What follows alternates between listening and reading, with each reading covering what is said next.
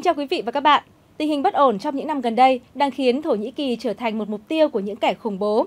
Mới đây nhất, tối 13 tháng 3 theo giờ địa phương, một vụ đánh bom xe liều chết đã làm rung chuyển trung tâm thủ đô Ankara của nước này, khiến ít nhất 34 người thiệt mạng và khoảng 125 người khác bị thương.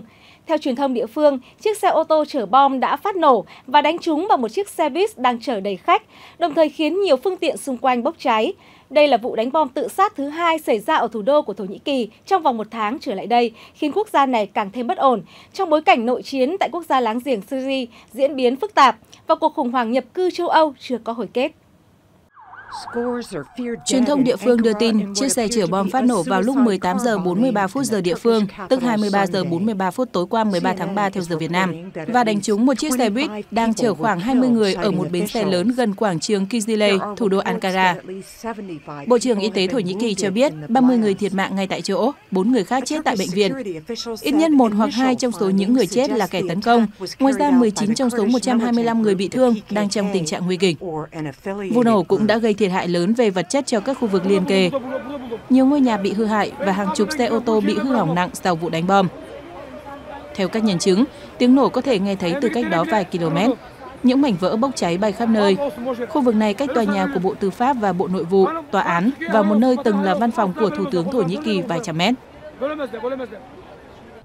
Chiếc xe đó đến gần nơi tôi đang đứng. Chỉ 10 giây sau, ghế trong xe buýt bị thổi bay cùng với tiếng nổ lớn. Một mảnh kim loại văng trúng người tôi, đó là một chiếc xe màu đen. Quanh tôi có 5 người chết và la liệt người bị thương. Cảnh sát cho hay có thể hai kẻ tấn công gồm một nam một nữ. Một cánh tay bị đứt lìa của một trong hai người này được phát hiện cách hiện trường vụ nổ 300 mét.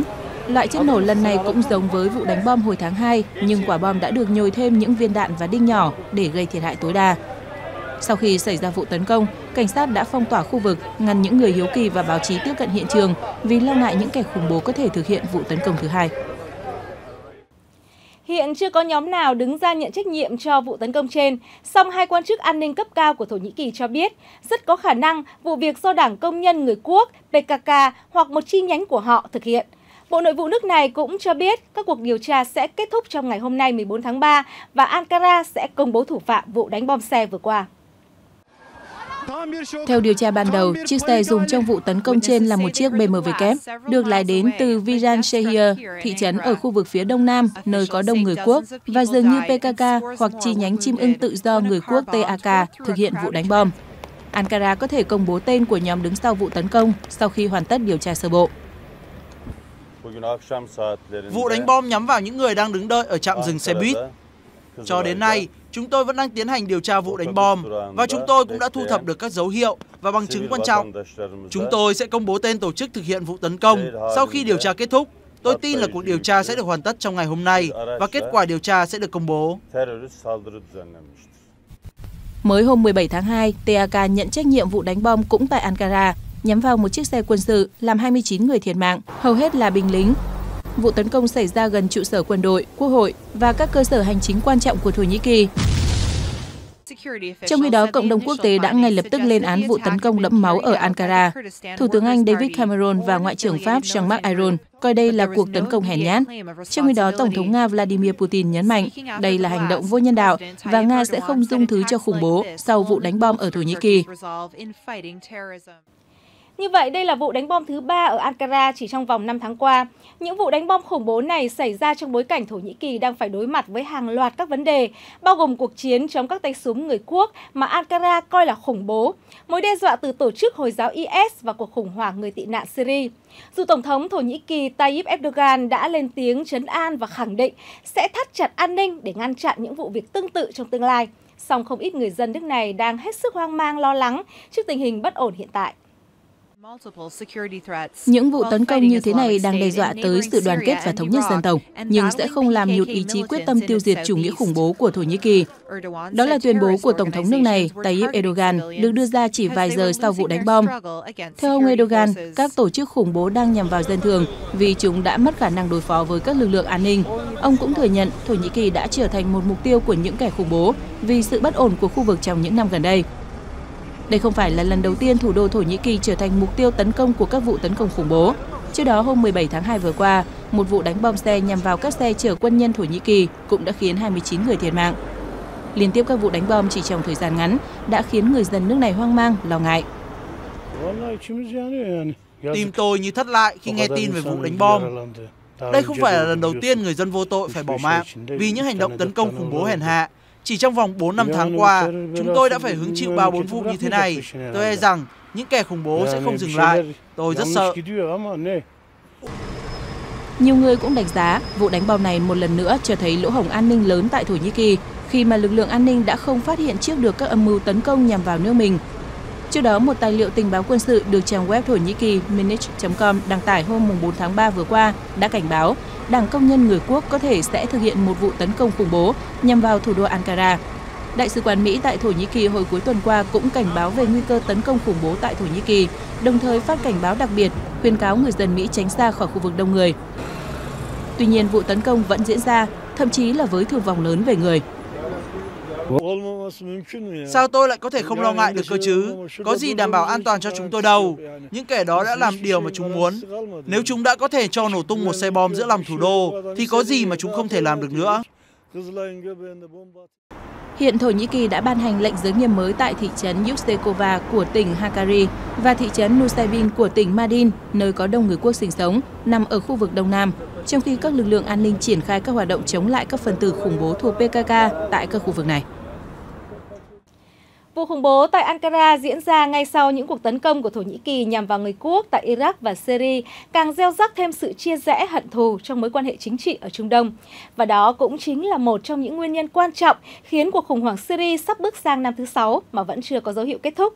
Ngày hôm nay 14 tháng 3 tại Geneva, Thụy Sĩ, nhờ những nỗ lực to lớn của cộng đồng quốc tế, cuộc hòa đàm cho khủng hoảng Syria đã được nối lại. Tuy nhiên, bầu không khí trước thềm cuộc đàm phán không khỏi khiến dư luận lo ngại vì những khác biệt cơ bản nhất giữa các bên vẫn còn đó. Chướng ngại vật lớn nhất đối với đàm phán hòa bình Syria chính là bất đồng về tương lai của Tổng thống Syria Bashar al-Assad ngay trước khi cử phái đoàn tới Geneva, chính quyền Damas đã một lần nữa tuyên bố từ chối đàm phán về việc tiến hành bầu cử tổng thống sớm để thay thế ông Bashar al-Assad, đồng thời không nhất trí với chương trình nghị sự do đặc phái viên Liên Hợp Quốc về Syria Staffan de Mistura đưa ra, trong đó dự kiến thảo luận việc tiến hành bầu cử tổng thống và quốc hội ở nước này trong vòng 18 tháng tới. Đây là lời khuyên của tôi dành cho họ. Nếu họ vẫn muốn giữ ý tưởng rằng ông Bashar al-Assad phải từ chức thì họ nên quên ngay cuộc hòa đàm này đi. Chúng tôi sẽ không đàm phán về tương lai của Tổng thống với bất cứ ai. Đây là giới hạn đỏ của chúng tôi và quyết định đó phải thuộc về người dân Syria. của phe đối lập được phương Tây và một số nước Ả Rập hậu thuẫn, mặc dù tuyên bố sẽ tham dự hòa đàm, nhưng lại kiên quyết yêu cầu đương kim Tổng thống Syria Assad không được tham gia chính phủ chuyển tiếp. Chúng tôi đến đây để tìm một giải pháp chính trị thông qua đàm phán, không phải chiến đấu. Chúng tôi muốn chấm dứt những gì mà người dân Syria đã phải chịu đựng suốt 5 năm qua. Giới phân tích cho rằng, chuỗi thất bại trên chiến trường hiện nay đặt phe đối lập vào tâm thế muốn khẩn trương đạt được lợi ích trên bàn đàm phán. Tuy nhiên, trường đoàn đàm phán hòa bình chính phủ Syria, đại sứ Syria tại Liên Hợp Quốc ngày 13 tháng 3 đã bác bỏ yêu cầu của phe đối lập về việc thúc đẩy đàm phán nhanh trong một lộ trình chuyển giao chính trị. Không có cái gì gọi là giai đoạn chuyển giao cả. Có những từ ngữ mà chúng tôi cần phải cẩn trọng. Cuộc thảo luận về vấn đề đó sẽ đến vào lúc thích hợp. Về phần mình, Ngoại trưởng Mỹ John Kerry cho rằng việc chính phủ Syria không chấp thuận đề xuất của Liên Hợp Quốc cho thấy họ muốn hủy hoại tiến trình hòa đàm ngay từ giai đoạn đầu. Trong khi đó, Ngoại trưởng Pháp Jean-Marc Ayron cho rằng những tuyên bố của Ngoại trưởng Syria là một tín hiệu xấu, đi ngược lại tinh thần của lệnh ngừng bắn hồi cuối tháng 2 nhằm tạo điều kiện thuận lợi cho tiến trình hòa đàm lần này. Mặc dù cuộc hòa đàm về khủng hoảng Syria mới chỉ bắt đầu, nhưng ai cũng có thể nhìn thấy hố sâu ngăn cách giữa những người chuẩn bị tham gia đàm phán.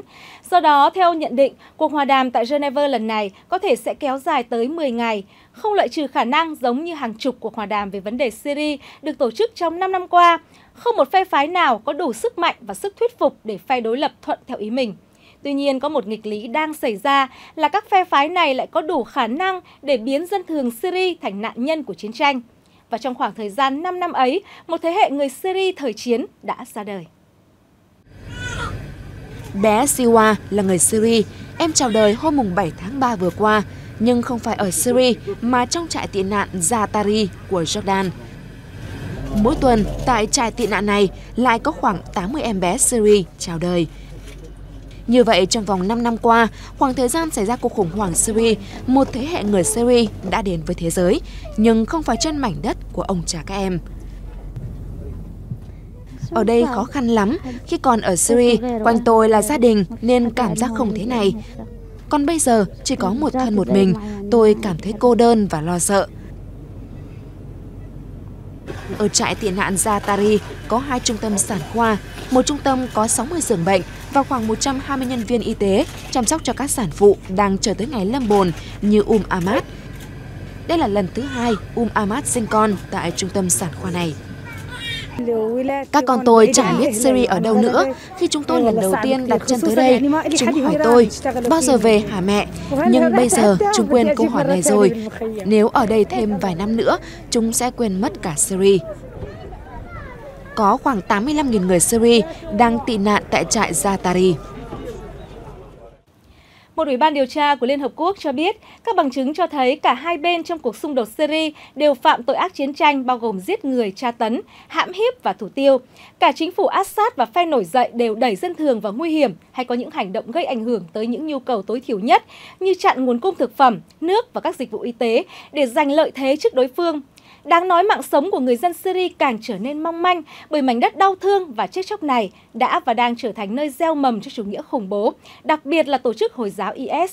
Nhưng trong bức tranh đẫm nước mắt, máu và hận thù ấy, người dân Syria từ trẻ nhỏ tới người già vẫn buộc phải gượng dậy để tiếp tục sống theo cách của mình. Kể từ khi cùng gia đình chạy trốn khỏi thành phố Giao Tranh ở phía đông là Ghouta tới khu công nghiệp tọa lạc ở phía nam Damas, cuộc sống của cậu bé Otman đã thay đổi hoàn toàn. Thay vì chú tâm vào học hành như các bạn cùng trang lứa, Otman mới 12 tuổi đã đảm nhận một công việc toàn thời gian. Giao tranh nổ ra, bố em bị thương và không còn khả năng lao động, anh trai em cũng vậy. Do đó, em phải giúp gia đình thôi. Giống như kiểu em phải trở thành người lớn trước tuổi, nhưng lại phải nộp tiền lương cho người lớn thật sự.